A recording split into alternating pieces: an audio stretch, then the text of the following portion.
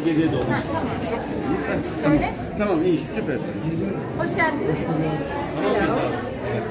Merhaba, merhabalar. İyiyim, sağ olun. Güzel bir gün markamız. Yediğimiz kelimenin tanıtımı için buradayız. Sağ olsunlar bizi yalnız bırakmadı. Arkadaşlarımız, dostlarımız burada. Ben de ayağımın tozuyla hemen markamın yanına geldim. Aynen çok güzel bir e, anlaşma yaptık bu markayla. E, Markadan biraz bahsedersiniz. Evet hemen bahsedeyim şey e, artık bebekler çocuklar olduktan sonra hayatımız değişti tabii daha böyle içeriğiyle çocuklara zarar Ben mi vermeyen abi? ürünler Furkan'ın e, bakmaya başladık. Bütün dünyada artık iklim krizi var biliyorsunuz, e, iklim değişikliği var. E, daha çok dünyaya dost ürünler kullanmayı tercih eder olduk. Çocuklarımızın geleceği için. İşte o markalardan bir tanesi de Milk. Sen rahat çekiyorsun değil mi? Ee, çok güzel bir marka. Ee, doğal bir marka. Vegan içerikli. Ee, ben de doğal bir insanım. Güzel bir birleşim olduğunu düşünüyorum. Çocuklar hayatınızda neler kattınız? İkinci çocuk olduktan sonra farklı duygularda yaşıyorsunuz. Evet, e, çok güzel. Ben şeye inanıyorum. Çocuklarım olduktan sonra e, onların şansıyla e, böyle işler gelmeye başladı. Çok şükür Ercan, paramızı kazanıyoruz. Ercan. Onların geleceği için, onların eğitimine yatırım Ercan. için. E, Valla elimizden gelen her şeyi yapıyoruz. Nelere dikkat edersiniz böyle marka anlaşmalarında? Bir de çocuklar E, Ben markanın içeriğine bakıyorum. Yani daha doğal, bana daha uygun şeyler olması gerekiyor. Temsil ettiğin şeylerin güvenilir olması gerekiyor bence. E, çünkü ortada çocuklar var. Çocuklarla ilgili bir şey yapınca. Onlara dikkat ediyorum yani. Önemli olan şey kimseye zarar vermemek. Maldivlere dönelim tatil Maldivler çok nasıl güzeldi. geçti? Maldivler çok çok çok güzeldi. Çok güzel bir tatil yaptık. Bunu tamam ayla kafanız orada galiba. Ya ben yazın hamile olduğum için tatil çok yapamadın. rahat tatil yapamadım. Yok işte e, hamilelikte tansiyon çıkıyor, işte seyahat yasağı oluyor falan filan derken e, stres atamadım, dinlenemediğimi hissettim. Tabii ki böyle bir şansımız vardı. Önceden aldığım, aldığımız bir tatil vardı. E, gittik, değerlendirdik. E, çocuklar çok mutlu oldu. Çok güzel vakit geçirdik ama bu şey de hep e, enteresan oluyor yani Instagram'a da sürekli güzel fotoğraflar koymaya çalışıyorsun. E bir taraftan çocuklar orada ağlıyor ama sen böyle gülüp "Ha, muhteşem çok güzel bir tatil yapıyorum kafasındasın. Aslında hiçbir şey değil tabii ki. Allah'tan bakıcımız vardı, baba vardı yanımızda. İşte ikisi çocuğu oyalarken ben bir taraftan selfie, bir taraftan Ali beni çekiyor. Hadi tamam oldu yeter artık falan diye. Böyle bir şekilde hayatla Instagram'ın da içinde olduğu için o tarafı da yapmaya çalışıyorsun. İyi bir anne olmaya çalışıyorsun.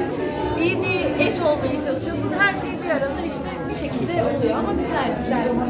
sosyal medyadan ya da o isteklerden çok yani sosyal medyada bir şey var. Evet.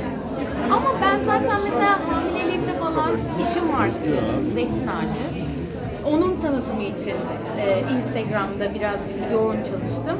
E, çalıştım derken işte o posta bir çalışma işi yani. Gerçekten bu çok ciddi bir mesele. Yani Instagram'ı yürütmek ben takdir ediyorum yani herkesin yapabileceği bir şey değil çünkü. E, ben detoksumu yapıyorum yani. Öyle saniye saniye hayatımın her şeyi, belirli dönemleri oluyor çalışırken. Mesela şimdi sinema filmine gireceğim. Yapamayacaksın yani. Instagram'da hayat nasıl geçer ki çalışırken çok zor. Dozu olması gerekiyor. Bence kişisel olarak da çünkü insan kafayı da yediriyor. Kafayı yedirtiyor çünkü zaten. Sürekli kendine bakmak, kendini çekmek, kendini görmek psikolojik açıdan çok sağlıklı bir şey olmasa gerek. Yani ben öyle hissediyorum. Çok yıpratıcı yani buna sürekli bir içerik üretmek de insanı çok yoran bir şey. Yani blogger olmak da çok zor bir iş bence. Bilmiyorum ya herkesin yapabileceği şeyler değil. Annelik güzel. Kızlarım bana bereket getirdi. Kızlarım eee olduktan sonra bereketli bir şekilde işler geldi. Çok şükür. İyi oldu yani benim için. İyi gidiyor şu an. Teşekkür ederim. Menajerim Meltem Hanım da inşallah bunları duyar. Hayır, hiçbir şey yapmıyorum. Bebeğimi emziriyorum.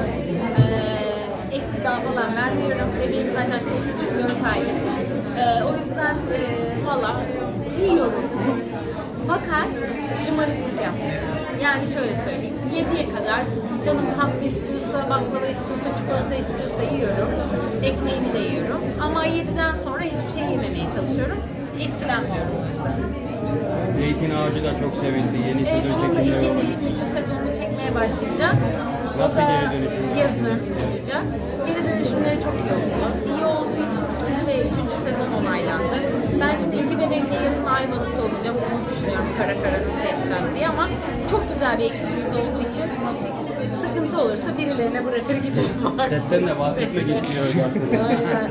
Senin herkes Serkan'a, Serkan'cığım sana zahmet bir Rıza'cığım bir elinden tutar. sayenizde sağ ol. tecrübe etmiş olur Seda. Evet evet. Murat, aynen. Murat Boz'a da çocuklar çok aslında. Evet evet Murat. Hani böyle inşallah konuşmalar olur. oluyor mu Murat? İsteyen herkese.